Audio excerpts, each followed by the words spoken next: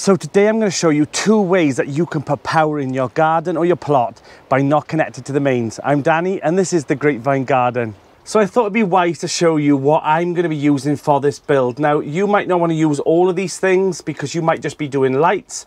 So I thought I'd cover all bases. Let's go. So you will definitely need a solar panel. This is a 100 watt one. Uh, you won't need something this big if you're just going to be putting some lights on in your shed. On the Grapevine Garden, I've got a really small one. I'll put up a link in that as well. So I'll put, I'll put actually put two listings. I'll put one for what I'm using on the Grapevine Garden if you just want lights and then if you want something here that you want plug sockets and things like that then I'll do I'll do both in the description for you.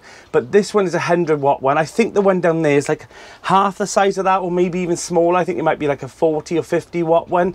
So this is a 100 watt one and let me show you what else you'll need. So I'm using a 100 watt one because obviously I want a little bit more power going into the battery then I'm going to need a switch. Now you don't need these ones on the Grapevine Garden again. I've just got a normal garden switch. I'll put a picture up now and show you that what I've got down the Grapevine Garden. But these ones are a bit more fancy. I had them in a sale I think last year and there's a few more switches on them. And the reason that is because I'm going to put some in the poly tunnel as well. You'll also want some wire. So I've got this 20 meters van and boat wire. So that's the one I bought. Again, I'll put all in the link in the description. You'll need some brackets to attach the solar panel to the roof. So you'll also need a solar power controller. And what that does is, so the solar panels on the roof, them two wires that come down, negative and positive, they go into here. And then from this then it relays out to your lights and also to your battery if you want to start charging as well. Let's talk about batteries. So I'm going with a leisure battery because obviously I wanted a power inverter in here and um, I want obviously be able to use plugs. But if you just want some lights, there is other options. So for the first six months on the Grapevine Garden, I had this one. It's a 12 volt, 7 amp hour um, battery. And I think you use them in like um, you know those cars that the little kids that drive around in and things like little go-karts so i'll pop a link in the description for one of those as well so if you just want lights this is enough really just for you know just for powering some lights on your shed and obviously you'll need some lights as well. So just remember that you only want 12 volt um, lights as well. So I've gone with these LED strips. I've used these in the greenhouse in my sheds in the chicken coop in the potting shed everywhere. But you can also get these like LED strip ones as well if you want. But I've always found that these tend to lose their stickiness after a while you know because in the shed it gets a bit warm. But I bought it anyway just to show you. You'll also need like a screwdriver as well because when you're fitting this up, you need a really, really fine screwdriver and you definitely want a plastic handle. So I got one of those as well. And obviously some insulation tape. Now the last thing is you can either use like those little chock block things, but I got these and then you tend to put the wires in. Let me show you. So you push these down and put the wires in and then they clamp shut and on this other side then it does the same thing and I found these have been okay just for adding lights and stuff into your shed and then I just put some insulation tape over the top. I'm also going with a power inverter like I said so this will connect onto the battery and then I can use it for um, USBs and I also I got three plug sockets on as well. But again if you don't want to you don't need to buy one of those. So I think I'll do different listings so I'll put um, in the description one saying just for lights and then that's everything you'll need just to put lights in your shed. And then underneath that I'll put adding extras and then that's if you want to add plug sockets, USBs and things like that as well into your shed. So use the first part for if you just want to put lights in your shed and then add the extras on if you want to put power into it as well, more power. So right, let's get this built. Now, these are only advisories, so obviously take a look at manuals as well. So read all the manuals that you buy when you purchase all this stuff. But this is just the way I do it. Um, if you want to have trunking on the wall to hide all the wires and stuff as well, that's obviously a good idea as well. I'm going to be doing the same thing on you, but I need to pop out and get some of that. So I'm just going to wire it all up today so I can just show you how I've done it. So first things first, let's get the panel on the roof and then I can just run the wires through and then I'll show you how I've set it all up inside.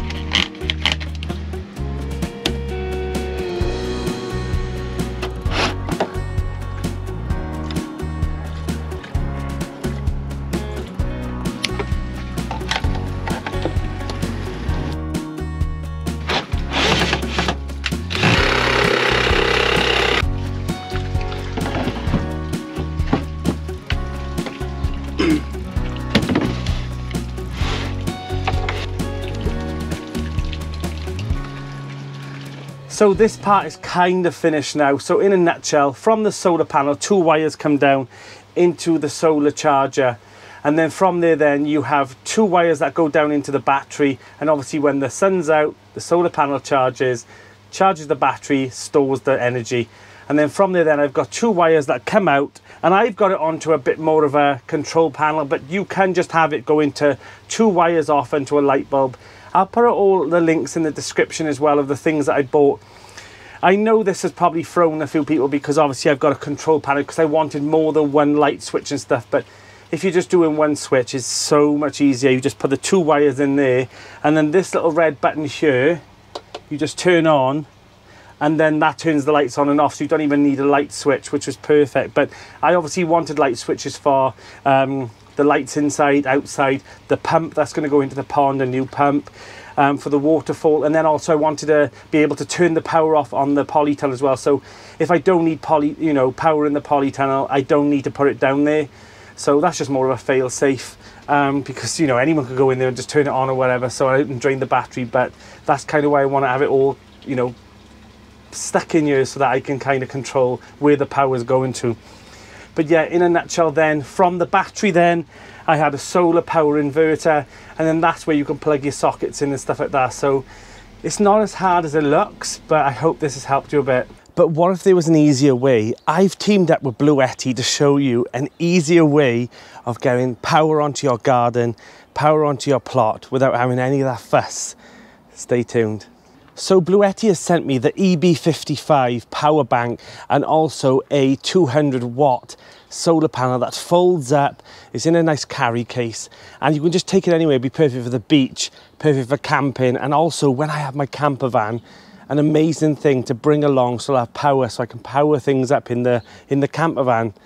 So all you do is set up the solar panel, fold it up in your garden or at your allotment, and then just plug it into the back of the EB55, or there's other versions as well. So I'll pop a link in the description so you can take a look at those as well because prices vary um, and the more power you have, obviously the more the price will be. But the EB55 will be perfect for my allotment.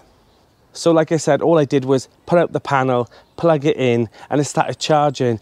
Uh, you can also charge it at home via the mains or also charge it up via a cigarette lighter in your car.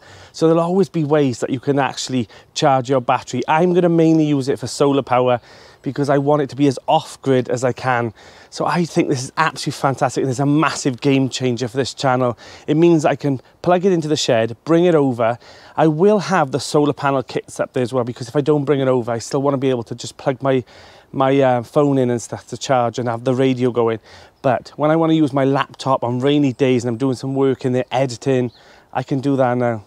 And the good thing about this as well is that if you don't want to faff up having a solar panel on your shed, running all the wires through, getting yourself a leisure battery, an inverter, and then all the cables, all the switches, this is perfect. All it is is plug and play. You can either charge it at home and then bring it over to your allotment or somewhere where you need it, like camping, and also, you know, like things like the beach as well.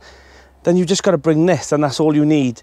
Um, and I actually prefer this setup now. The prices vary, like I said, the more power you have, the more the price goes up. But this for me is absolutely perfect and it's going to be a game changer for the channel. So i'm so excited to be trying out for the next couple of months and i'll i'll keep you updated as well. But if you want to go down the, the you know the line of putting the solar panel on having a fixed amount of power and having a leisure battery all i'm going to do that anyway because i've already bought it all. But Bluetti sent me this as well and I actually contacted them and I wanted a new way of showing you you know you guys how to do it as well. And I've seen these a long time ago, so I contacted them and they were quite happy to send me one of these to show you all the, the solar panel as well. Perfect for bringing it out. Pop it out and then you, you'll have continuous charge going through as well. But for now it's fully charged. I did it at home. I plugged it in. It was in my garden for, uh, most of the day and it was fully charged. But yeah, free energy as well. So I can now use it on the plot. So over time, I know that I'm just going to go to the Bluetti and that'll be the perfect go-to. I can just bring it over, plug up my camera batteries, because that's one thing that happens over here. I'm over here filming all day and the batteries don't last that long. And I'm like, oh, I have to come back over another day. But now I got the chance that when I've got one in the camera, I can have the other two or three plugged in in the shed, charging all day long.